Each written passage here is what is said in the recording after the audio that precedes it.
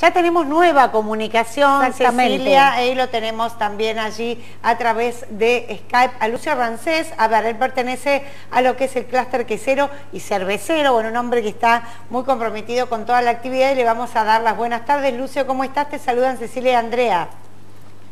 ¿Cómo están? Bueno, un gusto estar charlando con ustedes. Gracias eh, por recibirnos, Lucio, muy amable. Bueno, a ver, estábamos atentas a varias cuestiones más allá de este aislamiento, ¿no? En el que muchos dirán, bueno, ¿cómo nos reacomodamos en esta actividad? Hablamos del clúster quesero, el clúster cervecero, muchos lugares, por supuesto, cerrados directamente, pero queremos saber cómo se están manejando en este momento. Bueno, la verdad que es una situación que dificulta eh, a todo el entramado productivo de la ciudad, eh, del país y bueno, en este caso del mundo.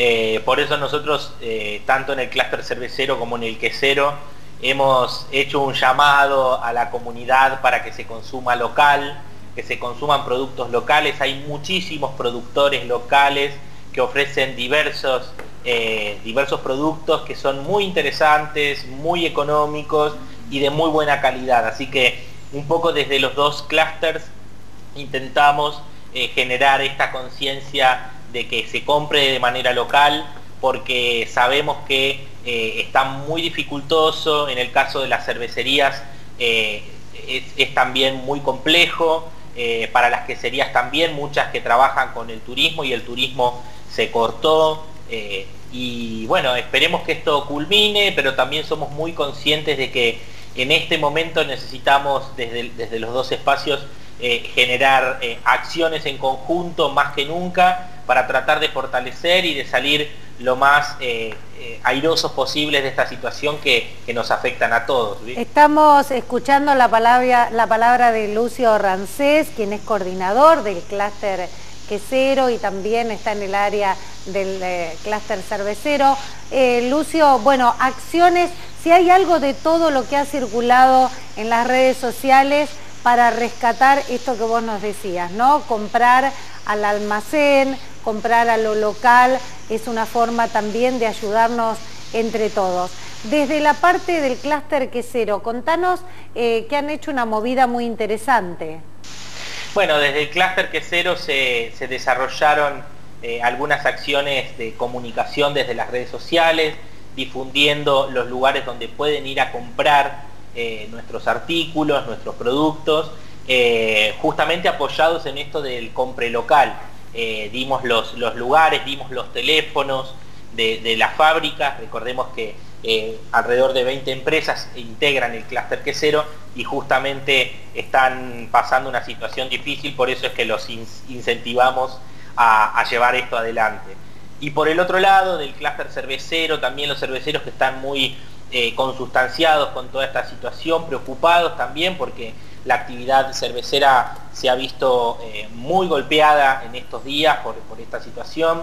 Eh, por eso es que tratamos de, generar acciones junto al municipio, tratar de tener un vínculo y un diálogo para poder hacer que cuando esto termine la actividad vuelva a, tener su, dinámica, su lógica pero más allá de eso, y sabemos que es un sector golpeado, el, de los cerveceros, eh, tuvimos eh, la idea de, poder ofrecernos eh, para, para, poder llevar adelante la producción en pequeña escala de alcohol justamente para poder abastecer al hospital o a los espacios que fueran necesarios, comedores comunitarios, todos los espacios que eh, necesiten de ese alcohol. Nosotros nos ofrecimos como clúster cervecero y bueno, eh, estamos aguardando, eh, sabemos que, el municipio está llevando adelante toda esta situación de una muy buena manera y esperamos que, se nos dé la autorización, que si hay algún acompañamiento,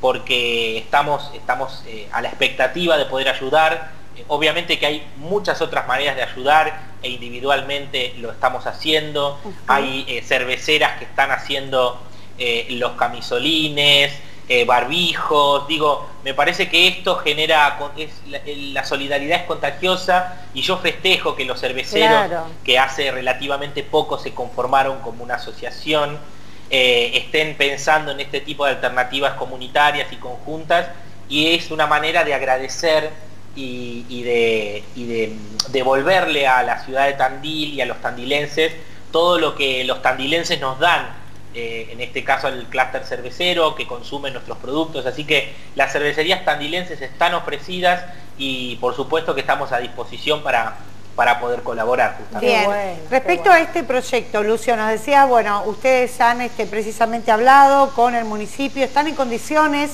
de producir y donar alcohol en gel, bueno, ¿cómo vienen con esto? Sabemos que, bueno, hay algunas cuestiones administrativas, pero eh, para tener en cuenta eh, cuánto podrían producir. Sí, en principio sería alcohol, eh, esto está bueno aclararlo. Alcohol, perdón, sí. Y estamos a disposición del municipio, también de los recursos. esto seguramente se verá en los próximos días. obviamente estamos en contacto con, con Marcela Petrantonio, del área de desarrollo, eh, de desarrollo productivo. Eh, también estamos en contacto con el INTI, con eh, Mónica Campanaro para asesorarnos con algunos aspectos. Está Juan Mariano Di Sabino también trabajando, que es uno de los cerveceros integrantes de la Asociación de Cerveceros, que también es bioquímico y está en el conocimiento. Así que estamos a disposición, se ponen a disposición las capacidades técnicas, necesitamos el asesoramiento, necesitamos el acompañamiento, pero seguramente se va a lograr, eh, estamos a disposición justamente para, poder sanear eh, esta cuestión, eh, que bueno, esperemos que no sea necesario, que no necesitemos producir alcohol, pero bueno, tenemos que cuidarnos, por el momento permítanme difundir esto que me interesa, más allá de todo esto productivo, quedémonos en casa, eh, tratemos de salir lo menos posible. Eh, si cada cual desde su casa hace lo que corresponde, creo que esta situación va a terminar mucho antes. Así que nada, un poco los invito a todos a que, a que generemos esta conciencia y que nos quedemos en casa. La verdad, este, bueno, reiteramos para la gente de la radio, la palabra que están escuchando es la de Lucio Rancés, desde el clúster quesero y cervecero, y pensaba, ¿no?, eh, cómo potencia, siempre digo que esta cuarentena nos está potenciando eh, lo mejor y lo peor de cada uno.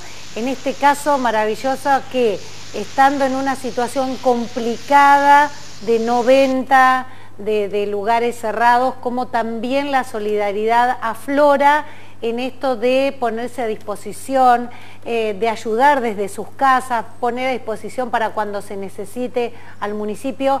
Creo que esto tiene un valor enorme.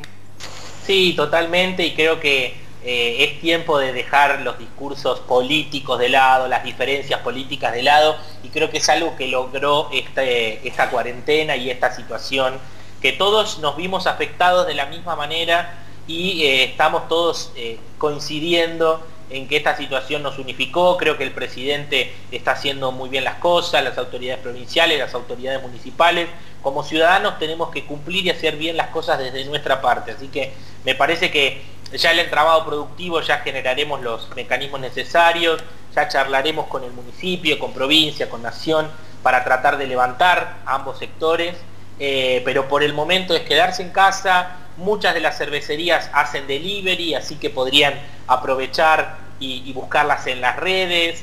Eh, pueden también, eh, también agregarnos a, nuestros Instagrams y ahí poder encontrar información. Asociación de Cerveceros de Tandil. Bien. creo que está todo como para que nosotros y la solución esté en nuestras manos. Así que resta simplemente que nos pongamos un poco las pilas durante estos días y después podamos volver a hacer ferias, podamos disfrutar del Tandil turístico, podamos disfrutar del Tandil productivo y ese orgullo que, nos genera que, diversos productos anden recorriendo por todo el país. Claro que Muy bien. Lucio, te queremos agradecer muchísimo por esta comunicación y también agradecerles ¿no? a todo lo que es este, este sector productivo por la responsabilidad social que han dispuesto también para con toda la comunidad. Muchísimas gracias. Muchas gracias a ustedes y bueno, a la gente invitarlos, Asociación de Cerveceros en Instagram, Cluster Quesero también en Instagram y bueno, ya volveremos a encontrarnos. Seguramente, muchas gracias, buena jornada. Lucio Rancés, coordinador del clúster quesero, también integrante del clúster cervecero. Bueno, contándonos eh, la situación complicada para todo el mundo, sí, claro. pero a pesar de eso la solidaridad y creo que eso también vale.